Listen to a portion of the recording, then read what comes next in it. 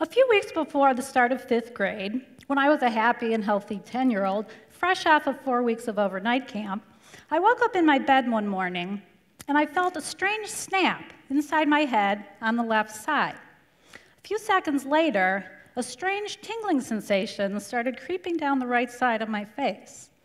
It continued traveling down my right arm and then down the rest of the right side of my body as if I was cut in half. By the time I reached my toes, that was it. In less than 30 seconds, I was completely paralyzed on my right side. The medical term for this is hemiplegia. It's what can happen to you when you have a stroke. But I had additional symptoms. About 30 minutes later, I lost peripheral vision in my right eye. And about 30 minutes after that, I had difficulty speaking, which is known as aphasia. And then about 30 minutes after that, I got a really, really bad headache. By that time, I was in the hospital. My neurologist ultimately diagnosed this as a severe and fluky form of a migraine headache. It's pretty rare. My recovery over the next six months restored all the sensation and the strength, but not entirely the control. So that's why I have a tremor on my right side. Now, since I was born right handed, I spent the next year becoming a lefty. Now, I gotta say, there's never a good time to stroke out. But doing it at age 10 definitely came with a degree of peril. I was desperately trying to fit in, and this was not making it any easier. But if we can zoom out for a minute, we realize that over people's lifetime, they are going to experience losses, setbacks, and challenges. The question is how do you take these sources of weakness or potential devastation and turn them into something from which maybe you can draw some strength? In fact, I dare you to, to solve the riddle. How do you take your kryptonite and transform it into your superpower? Pay attention, I'm going to give you a few clues. The first thing I figured out was that people would respond to me, to my challenges, in direct measure to how well I handled them. So if something was a problem for me, it was going to be a problem for them.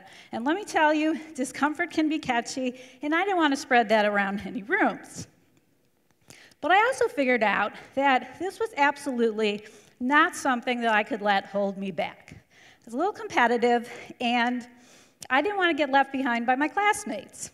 Now, that's the thinking of a 10 year old, but any age can tap into what drove it. And that was basically three things courage, positivity, and determination.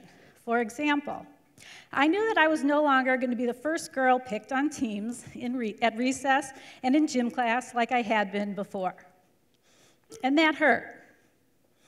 But I told myself, you know what? At least I can still play.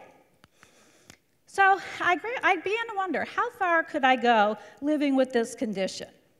I gradually began to find out as I, as I figured out how to do things with one hand, like typing, cracking eggs, and putting earring backings on, which is not easy.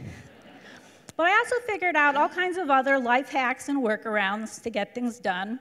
And a couple of what I call my more clever examples are threading a needle with one hand.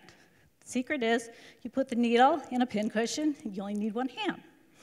But I also figured out how to polish my own nails since getting a manicure was a little, a professional manicure is a little awkward. Uh, the problem was polishing my left hand. And the way I did that is putting the brush on its side, and my fingernail painted the brush instead of the brush painting my nail. So, what you can detect here is a huge sense of accomplishment and ownership over my problems. I really began to feel like I got this. In fact, I took it a little further. I felt as if there were something like superpowers that were enabling me to overcome adversity. In the course of a single day, I could string together numerous small victories, even what I called minor miracles. And this made me feel really good. Except when I was 25 years old, something happened that finally stretched my superpowers to their breaking point. I had just given birth to my son, and in the hours afterward, I realized Taking care of a baby is a two handed job, if ever there was one. And I had no previous experience with babies. Uh, and all I had been thinking about was what I needed to buy, like the changing table, uh, the stroller, the crib, what color to paint his room. Would a son help me out the same way a daughter might if I grow old and I'm alone? Anyway, my superpowers completely failed me. And uh, the truth was, I couldn't give him a bottle, I couldn't change his diaper, and I had no idea how I was going to dress him without hurting him. So the next morning, my obstetrician came in my room and tried to console me because I was absolutely hysterical. He said, Listen, uh, all my patients feel inadequate. They wish they had three hands to get the jobs done. That didn't make me feel any better. but then he told me the story of Jim Abbott, He's a Major League Baseball pitcher who has an arm that ends at his wrist. He played for 10 seasons. He just had his own workarounds and hacks to get the job done. Now, that shut down my tears. So, basically, over the next few weeks, I figured out how to get the jobs done, and I successfully was able to feed, diaper, and dress my baby. Now, he's in law school. But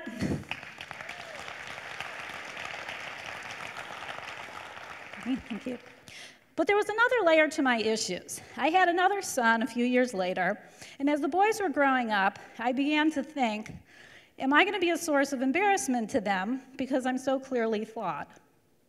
I shared this with my dad one day, and he said something very surprising. His father's from Germany, and he had a German accent. But my dad really wasn't aware of it until a friend came over and met his dad and asked him about it. It caught my dad off guard. The accent really hadn't registered. So he was just accustomed to his dad. So, what he was telling me by way of comparison is that my kids see me as fully functioning. To them, I'm still Wonder Woman. And the more I thought about it, the more I realized I had a ton of evidence proving this because they've never ever offered to help me in any way.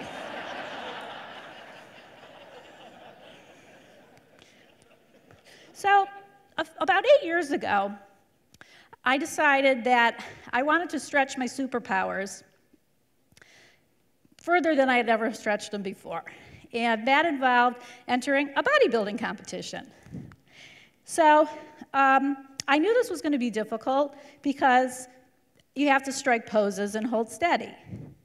And I just decided I was going to do it anyway, and let's just say I survived.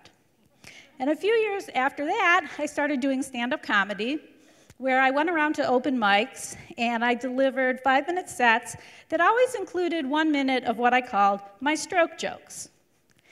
And those are basically bits where I poked fun at myself, like noting, um, I'm not an alcoholic, I swear, even though I kind of shake like one.